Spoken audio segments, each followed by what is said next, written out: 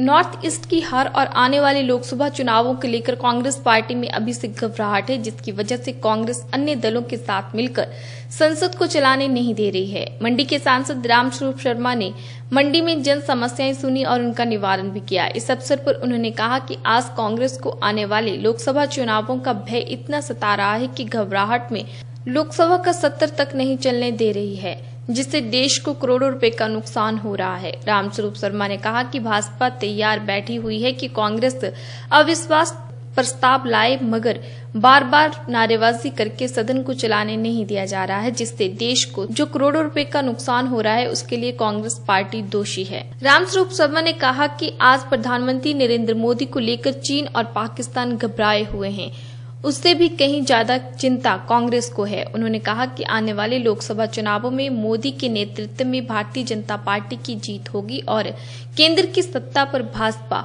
विराजमान होगी। उन्होंने कहा कि हिमाचल प्रदेश में मुख्यमंत्री जयराम ठाकुर ने सबके हितों का ख्याल रखते हुए बिना कर का बजट पेश कर सबको हैरान कर दिया है। उन्होंने कहा कि जयराम का बजट उम्मीद से बढ़कर है, जिससे कांग्रेस यहाँ भी भयभीत है और केंद्र में भी, जिसकी वजह से सदन की कार्यवाही में बार बार अवरोध डाला जा रहा है।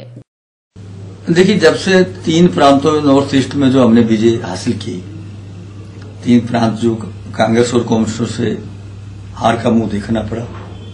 दो प्रांतों में कांग्रेस का खाता नहीं खुला। आज आज उसका परिणाम है कि आज कांग्रेस पार्टी अन्य विरोधी दल इतने घबराए हुए हैं आने वाले पार्लियामेंट चुनावों को देखकर। और वो ये चाह रहे हैं कि अब वो पार्लियामेंट चले ना, कोई उसमें बिल पास ना हो।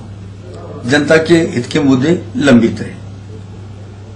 और आने वाले लोकसभा चुनावों का जो भय इतना सता रहा है उनको, जिसके कारण वो लोकसभा चलने नहीं दे रहे।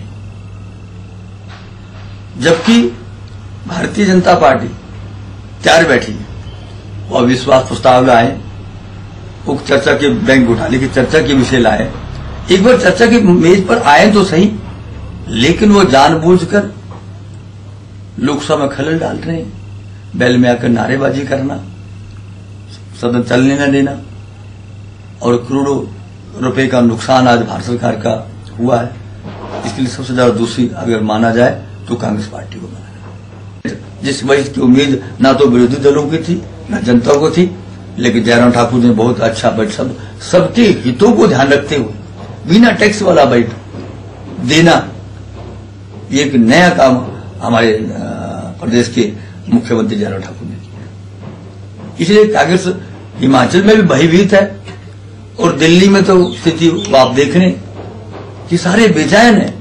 मोदी जी के जैसे जैसे पाकिस्तान चिंता में पड़ा हुआ, चाइना चिंता में पड़ा हुआ, उससे ज़्यादा चिंता में हमारे विरोधी दल पड़े। इसलिए देश की जनता पर हमें विश्वास है कि वो प्रधानमंत्री नरेंद्र मोदी का उन्होंने साथ देते आया है तो आज इक्कीस प्रांतों में हमारी सरकारें बनी है। तो मुझे विश्वास है कि आने वाले पार्लियामेंट के चुनावों में पुनः भारी बहु से नरेंद्र मोदी देश के प्रधानमंत्री।